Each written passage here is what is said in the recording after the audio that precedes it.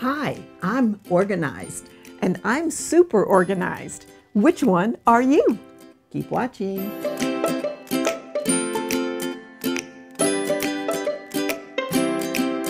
Hi, it's Donna Robertson. And Fran Morgan with Fabric Cafe.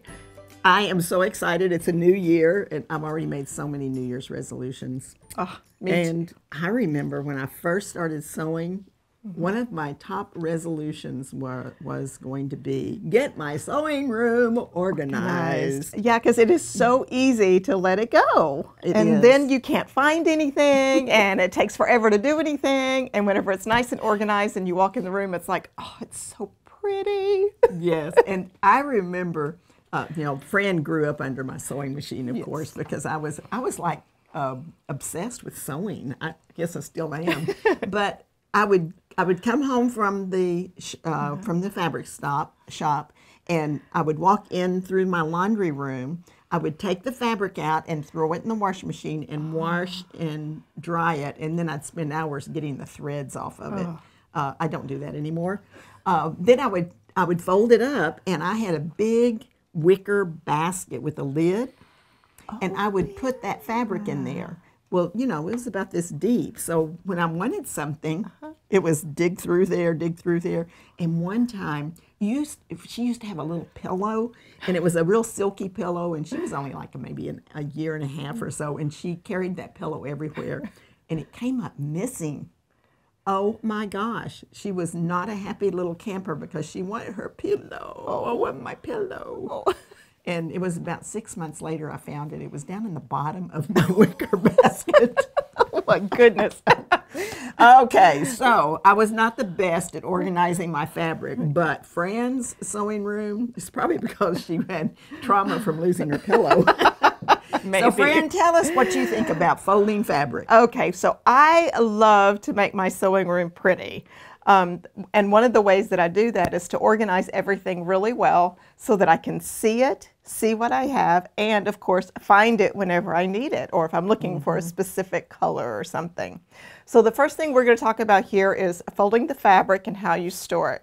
So, of course, at Fabric Cafe, we have three yard quilts and we use a lot of one yard cuts. So, the way that I prefer to store one yard cuts for my three yard quilts um, I'm going to just start here. I have a one yard cut here, and you can see here's the selvages. So what I'm going to do is just fold it in half, the selvage to the fold. Then I'm going to fold it in half again. The other direction. And then one more time, the same direction. Mm-hmm. And then this way. Now, there's a reason why I like to fold it in this manner because I store most of my one yard cuts either on a shelf or in a bin like I have here. Mm-hmm. And I like to fold it so there's only one big fold on the edge. If I have two folds on the edge, then in my head I'm thinking I have two yards. So I fold it so that you only see one fold so I can actually see, oh, I've got a yard of this, a yard of this, a yard.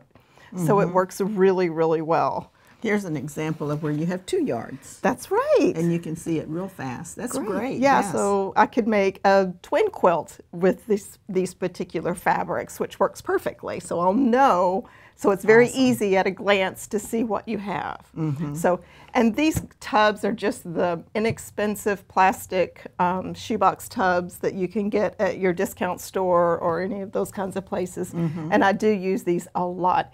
The other thing I like to do is I just use a little label maker and put on the end of the tub one yard cuts or blue one yard cuts if I have a lot of blue or something like that. It just kind of helps at a glance to see what's in the tub. That's great. Now on fat quarters, mm-hmm. Got some fat quarters Yep. here. Here, would you put this? you. Yeah.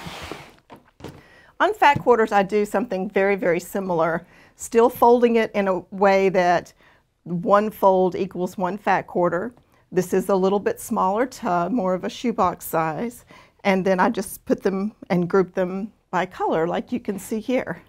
Now, one of the things that I know you and I talked about is sometimes when we're organizing these, we'll take our, our tub and set it this way and stack them on top of each other.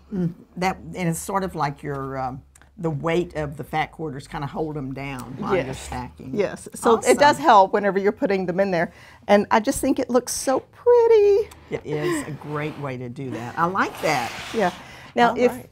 you don't have room in your sewing room, or if you have shelving and you would like to put your fabric on a shelf Mm-hmm. and not in a tub, um, a couple of other things that you could do is fold it so that this slides up on a shelf and you see your ends this way. And what's cool about that is they when they order three yard quilts from Fabric Cafe, it comes already folded like this. Mm-hmm. Handy. So you can just take it out of the plastic bag and put it right up there on the shelf. Save you a step. Yes. yes. So let's just kind of fold that real quick so you can see. And as I mentioned, you would just set this on, on a shelf of a bookcase so that you just see the ends. And once again, one fold equals one yard. So we're kind of back to our one yard here. Our first, first fold is exactly the same as if you were putting it in a bin. You mm-hmm. fold your selvage to your fold. We're going to fold it skinny wise like this. Fold it again and then we're going to fold it the end to the center and the end to the center. Now, what's really cool about this folding is it kind of keeps all your raw edges on the mm-hmm. inside of Yes. the, the folding, so it's really nice. And then fold in half, and there's our edge. There you go. There you go. So that goes right with that stack. These are all gorgeous fabrics. They absolutely are. If you guys haven't checked out our Fabric by the Yard section online, you should do mm-hmm. that. Well, let me share a couple of other ideas of ways to store your fabric. Okay, okay. So I know one is we came up with this idea. Now there's there's um, someone out there that actually sells the little plastic things that you can wrap your Mm-hmm. fabric on. But if you can't find those or just want to save a little money, you can go to your uh, quilt shop uh, or fabric store and you Mm-hmm. can ask them to if you can have some of their bolts. And that's what this is. It's just a bolt that came from the fabric store that you cut in half. And Oh, if you have a wonderful husband like me, he put it on his some kind of saw, band saw or table, saw, or something, and he cut them in half for me. And um, at one point, whenever I took fabric to shows, I would actually do this. And you can take masking tape or painter's tape Mm-hmm. for this, and you just tape one end onto the core, and then you wrap it up, and then you can store it on a shelf, like a bookshelf. Oh, like a book. Yeah. So then, once again, you can see exactly what you have. It would sort of look like a little miniature version of our wall. Make it look like you have your own quilt store. That's a good point. I like that. okay, so that's one way to do it. And then another way to do it is just to cut a piece of cardboard from um, packing, yeah, from scrap of cardboard, and you do the same thing. You can just fold your fabric, and put one end, you just tape it to the cardboard, and then wrap it around and put a little bit more, but just use either masking tape or uh, painter's tape because it comes off really, really easily. That's good to And know. that also could be stored like that. This could also be stored in one of those boot boxes or shoe boxes. Oh, yeah. Yeah, you could do it this way as well. Like a little file. Mm-hmm. That's but that's very another cool. way to keep it nice and neat, but won't shift around quite so much. Those are great tips, too. Now, if you've ever been to a quilt show and you've seen our rolls, they look like this. And I love this version. Now, remember whenever I said that I used to um, display fabric at the shows on the, the uh, bolts? Well, I came up with this idea when I met these bands. I was at a show and there was another vendor and she had these bands and she was using them um, like this. And she was putting those bands on these. And we do sell these bands on Which would be great for that as well if you wanted to use them there. That's a right. super tip. So, but I was looking for another way to um, store the fabric and getting it back and forth to the shows. And so I played around with it till I came up with this way of dealing with your fabric. So the way I do it is I want my number one fabric on the outside. So you're seeing the number one fabric. The number uh, two fabric is here, and the number three fabric is here. So you do it in that order. Put number one down first, put number two down second, and number three down the third. Now you want this to be even up here Okay. because it will just automatically um, shift so that you can see all three Oh, fabrics. and that looks so pretty. Yeah, I like that. Now what I do is I go about a 3rd Mm-hmm. And I fold it up like so, and then you want to get a good tight start. Okay. And then you roll and just kind of smooth and roll and kind of smooth and roll. Look at that. You're right. It just stacks perfectly See? that way. You got that beautiful roll there. And then I usually put these around twice. Uh-huh. And like so. And then if you want to make your sewing room really pretty, you can use different size baskets and stand your three yard quilts uh, up on end like that. This looks so pretty. I mean, I I would love to have this in my sewing room, just full of three yard kits.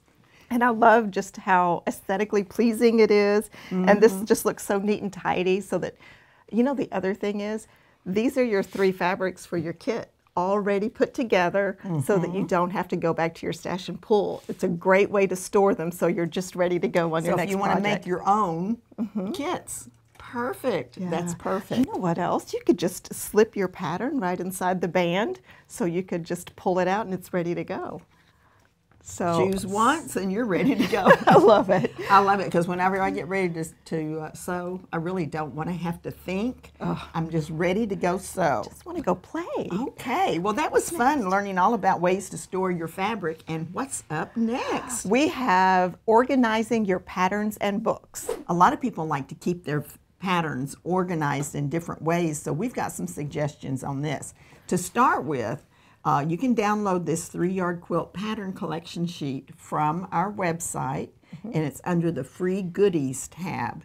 And you can go through and mark the different patterns you have. You'll be able to easily see which ones you don't have, and that you can add it to your your pattern collection. I will point out a couple of things about this so that whenever you uh, download your pattern sheet, you'll notice that some of the boxes are gray, and that means they are not in any book. Okay. If they're in a book, they have an extension number. It'll say book five, and it will also have the pattern number. So we've done this in such a way that it's very organized and easy for you to um, keep track of which patterns that you do have.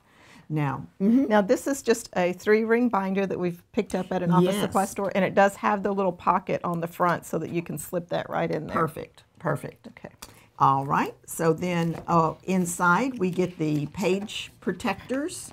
Uh, those are great. You can open the, the pattern up and you can slide the pattern in and put your color picture there. Or you could even put another one of these with your color picture on the other side. Oh yeah. Um, another tip is to use a sticky note. Mm-hmm. If you're getting ready to make a traction, you can say fabric one is this fabric color, and number two and number three, ah. and just stick it right here on that page. That's a great idea. So it's just another way of organizing your fabric with your patterns. Oh, and then you know what else you could do? I just thought of this idea.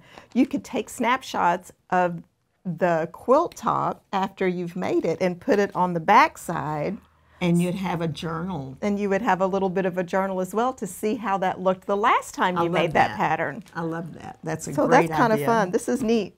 Well, you could even do that with your recording of when you made that pattern Oh. or who you gave it to. There you go. I love it. Okay. This is really cool too. You can make a tab uh, for your patterns A through D, Mm-hmm. and you get these little divider pages as the office supply place as well. That's super handy. And so we have these little tabs on this, dividing it alphabetically. Okay. So that's a really good way to take care of um, your your pattern collection, Mm-hmm. and then this can go right on the books bookshelf like this. Oh, that's You can even label on the back if you want to, so that you've got the name of the. Oh, that's right. It has a pocket too. It has a pocket too. And guys, whenever you do this, something that I have learned is if you want to print a, a spine for this, to get that spine into the notebook easily, open it up like this, and then this will just make it super easy to slip a piece of mm-hmm. paper in there. In paper, or could they even do a lightweight cardstock?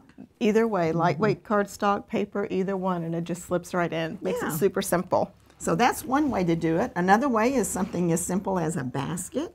Yeah. With and you know it's hard to believe we've done so many patterns, but we have well over a hundred patterns in our uh, individual patterns. So um, if you don't have well over a hundred, then you're missing a few. and you know, you could get those little sticky tabs and do the alphabetizing on these as well. I know you can, they're repositionable so you can peel them off and stick them back on. Oh, that's a good idea too. So there are different ways that you can organize just in a basket if you don't have a notebook. Now another idea, I'll let you put those over there for me, please, is to get the um, the big rings and you can put them on a ring like this. Again, you could alphabetize them by putting your tabs down at the bottom if you wanted. Um, this one's kind of fun for just looking at them. It really does. Um, they flip real nice and easy. Super easy. And then this can just hang on a hook in your sewing room. Absolutely. And they are alphabetized, so if you want to go right straight to the end of the alphabet, oh, there's P's. So, you know, you can go right straight to And of course, of we know that you know what every pattern looks like by its name, right? Absolutely. well, we are supposed to. Okay, so that's some ideas about the patterns. Do you have a special way that you organize your patterns? We'd love for you to leave a comment and tell us what you do. We would. We would love to see that. And I love to look at beautiful spaces and beautiful rooms, and the quilting rooms are the best. Oh, so yeah, absolutely. please share those with us. Now, if you've got uh, three yard quilt books, Mm-hmm. um, I think one of the best ways is just to get one of these book organizers. Once again, you can get this at your local office supply store or discount store. Mm-hmm. And I really like this one because it's acrylic and it allows you to see the front of the book I like that too. because we do want to see your picture. Well, of course. Uh, and of course, once again, if it were me, I would alphabetize them in here, but they're very easy to just set on a shelf, uh, take the entire box off whenever you want to thumb through them, and be able to um, look at the quilts and select one. And you know, another thing is that when you're looking at your um, books, if you see a pattern that you know you want to make, you should get those little stickies. You know, they're little bitty stickies that you Little can put right on kinda little tab on the edge of the picture so that you can get, say, which book was that in? That's a great idea. That is a great idea. So it's kind of organization and planning all at once. That's right. So another idea, I know that some of our books come as downloadables. So if you're if you have downloadable books, one of the ways that you can organize it is to go ahead and print it off. I like to print them in color and slip the cover into that front of that uh, binder. And of course, I would put also a, a name on the spine. And then once again, um, the plastic page protectors here just put the book in there so that it's easily um, accessed and that it's protected as you're using your patterns. So I like it. It makes it super, super simple and really clean.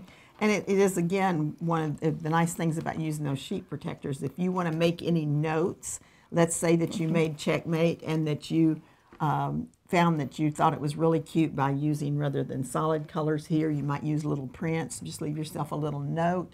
Um, or if, if there's anything that you want to remember about that, it's great just to leave a little sticky note there. That's a great idea. That's super. So now we're going to talk about organizing some of those more awkward items that you have in your sewing room, your notions, your rulers, and things like that. So let's talk about rulers first. Okay? Okay. Um, of course, you know, as a quilter, rulers come in all different shapes and sizes, and they can be a little challenging sometimes to store because they're larger pieces. Um, first thing I want to point out did you know that most rulers actually have a hole in them? So I know this is my 24 inch, this is my small six and a half inch, and then here is a larger 12 and a half, and you can see that they all have holes in them. So one of the things that I like to do and the way that I store my rulers is just hanging them on a nail in my sewing closet. So super simple, takes up a very little room, and it, it stores nice and flat, and I can see them all. Well, whenever I went down to Fran's in San Antonio, her guest room was also her sewing room. And she had a little walk in closet. And I know, and she said, Now here's where you can hang your clothes. And, and then the rest of it was little shelves and drawers and all of that. And I remember seeing her um, rulers hanging on the wall thinking, hmm, that's a good idea. So that's how I store it because it really takes up such a small, small amount of room. So it's very handy.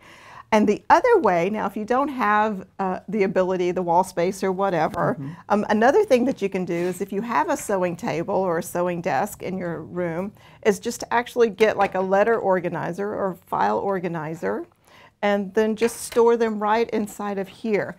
I know, like most quilters, you have all different shapes and sizes of rulers. Right. And whenever you get to store them this way, you can put the little ones together, all your triangles together, and then mm-hmm. all of your squares together, and things like that. So it makes it nice and neat. Takes up a little bit more room, but still definitely uh, very, very handy. Well, with the nails on the wall, you might want to put more than one because knowing me, the one I wanted would be up against the wall and I'd have to take them all off. So you might want to use more than one uh, or use this. Of course, of course. So I think I had three different ones for the three different sizes. of- Yes. yeah. So another thing, so let's talk about thread. Now, Thread spaghetti? thread spaghetti. Yep, that's right.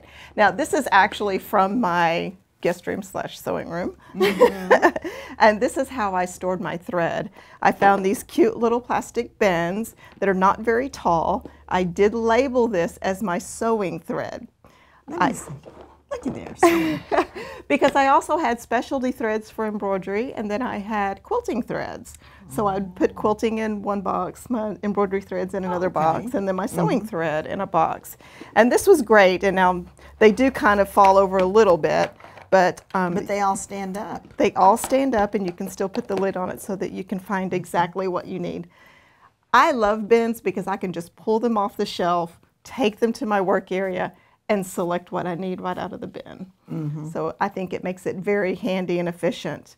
Um, another thing, if you don't know this, um, most thread has a little keeper at the top. Yes, right. So you pop it up, wrap it in, pop it shut, and that way it'll keep them from unraveling. But there's lots of little tricks that you can do to keep your threads from getting all tangled. Just masking tape or painter's tape, or I know they sell different little nettings and things that you can put around them to help as well. So one of the next ways that I really enjoy organizing is to buy decorative jars. Now these were some inexpensive jars that uh, we found at a discount store. We've just used our label maker to tag them what we're going to store in each one and then we can just put our smaller items like thimbles, needles, buttons, things like that in these jars. I like this because if you have a shelf like in a guest bedroom, mm-hmm. because my room's doubled, like I'm sure many of yours do, let us know if it does. I'd be curious to see if who has a dedicated room and who has to share with a guest. or the dining room or the true, den. Yeah. true. So, th- what this did is it allowed me to kind of have a guest room that was decorated, but still was an organization tool for Mm-hmm. me. So this looked really sweet on the shelf, along with some stacks of fabrics and some rolls and. It did, and it looked really sweet. Yeah, so it's really good. Um, another thing I want to mention is on your needles, um, when you use your needles up, I'm going to digress just a little bit too. I keep these little containers, and whenever I switch my needle, I take a Sharpie and put an X across the top and put the old needles back in one of these empty uh-huh. ones. Oh, that's a good idea. That way, when you throw them away, you're not putting these needles directly into the trash, and it's just kind of a safety thing. So that's a good, mm-hmm. a good thing to keep in mind as well. Good. All right. Let's talk about bobbins just a second. Okay. Because I see that you have uh, bobbins, and we all know that there are different little gadgets that you can get for your bobbins. But this is a really cool little idea. the, these are little ponytail bobbins. Oh yeah. See, those are little, Little and they're- holders. Yeah, and so they're perfect. You can uh, a lot of times you can pick these up either at. Um, I, I actually got these at a little spe- specialty shop, and I thought they were so cute. But then we just have the plain little ponytail. We fish Um, that out of here. Yeah. So here's a, a plain one. And you might have a little bit of thread sticking out, but not a lot. And I tried to color coordinate it. So there's a pink bobbin and there's a pink ponytail holder. Oh, perfect. So that's just another way to keep those bobbins from tangling in the drawer. Yes, I, that's a Bobbin forever, spaghetti. forever uh, trouble there. Right. So another idea and I know I have several of these in Mm-hmm. my sewing cabinet drawers. And of course, you can get these in different configurations and sizes. It's just these little acrylic trays, and they can hold all kinds of things. Mm-hmm. I keep things that I'm going to use often in my drawers in my sewing cabinet. My seam ripper, unfortunately. Um, extra sewing needles. I, I tend to keep an extra package in there, but spares in a, in a little jar. Tape measures, straight pins, different things like that. Um, you can get these in long configurations as well as squares like this. Mm-hmm. Love so it. it's super helpful. And these little clippies, I just love these. I think these would look so pretty in a jar too, because to me they look like little candy colors. But they do. They do. All right. so what do you have to share with us? Well, I want to talk about um, the sewing kits. You know, I do. Some of you may know this that if we take trips, I like to do my binding in the car, and I have a little sewing kit that I take with me. But what do I want to make sure I have in my sewing kit? Now we accumulated um, two or three little different ideas for sewing kits. You can buy the little sewing kits like this that are just made specifically for sewing, and that's one thing that we can use. So pretty. Another thing you can use is like a makeup bag. Uh, Fran was telling me she got this free when she got some makeup somewhere, and um, or you can buy them inexpensively at many many stores. I've even seen them at the grocery store. So if you want to organize something like this, you could do that. Now I have a box that I have used for so long I don't even know, and the poor thing. It, it has it has some cosmetic issues here, but um, it Bob replaced the handle because the handle came off. Um, the little latch here is a little on the shaky side, but it's a cute little wooden box that I found just, I don't know, I just found it somewhere and I thought, oh, that is so cute. And so I use this for my sewing box. It's small, it's compact. If it's sitting on the end table at, in the living room, it almost looks decorative. Like, Oh. looks like a, an like that. antique of some sort. It's not really antique, but I've used it about It's 20 getting there. years. Yeah. so what do you put in your uh, sewing kit? Okay, these are some things that I like to keep in my sewing kit. Of course, a seam ripper. I mean, what would we do without our seam ripper? A thimble. So you want to make sure that you get a thimble and uh, that that is in your um, box. A little pair of scissors. Um, always need a little pair of scissors to cut that thread. And then, of course, you need some thread. And again, this one has that cute little snap-on Top. feature so that it won't come undone. But here's another idea for you. You can group fabrics together in the little sn- uh, snack bag. Oh, that's perfect. Snack bags are perfect for thread. Look at They that. are. They just work really, really well. And again, it keeps them from being all tangly. I guess you can tell I have an issue with that. um, and when you're sewing, uh, thread magic is wonderful. I really like it. You can just take your uh, thread and you lay it over. You can see mine's well used. Oh, yeah. You just lay your thread over it, snap that on, and you pull it out, and it puts um, a little bit of a, a stiffness to your thread, and it won't tangle as much when you're doing hand stitching. Okay, so that's handy to have in your Mm-hmm. sewing kit, course. Now, of course, you need your needles, and I love, love, love. Did I tell you that I love these? Yeah, these are binding needles, and they are awesome. Uh, it, it changed my life to have a binding needle. Love them. So, and as Fran said about what do you do with your leftover needles, I did. Um, friend Janet George gave me uh, some of these needle cases, and this one is pretty well full, but I use it, or you can use the empties on this. And again, like Fran said, if you have an empty, just put an X on it so you know you've already used that needle. Mm-hmm. And just as a reminder, people forget that needles get dull, and if they get dull, they don't slide through the fabric as well. And if you mm-hmm. want your binding to go quickly, or any kind of hand sewing, change your needle often. Um, Would you say about one every quilt or one every other quilt? Or I probably change around two to three quilts, but I can just tell whenever I start struggling getting that needle to go quickly, I That's a- just say it's time. yeah, that's a great tip. Okay, needle threader. The, these are really cute. They they have the needle threader and the little The flashlight. little light. that- For those of us that are always doing this. That's right. so the needle threader is great. Now I am a big fan of these clips. And you notice mine are on the side of the needle case. This is a needle case that uh, Sandy uh, McClinney made for me for Christmas one year. And I love it. And I take these off of my quilt and I use them to hold it closed. And inside I've got some straight pins and some needles. So it does two things. It holds this closed, but it also puts my clippies at my fingertip. Perfect. Clippies are the bloodless way of doing binding. I don't stick myself with the straight pins. Love it. But straight pins come in handy, so you'll want to have some straight pins in there as well.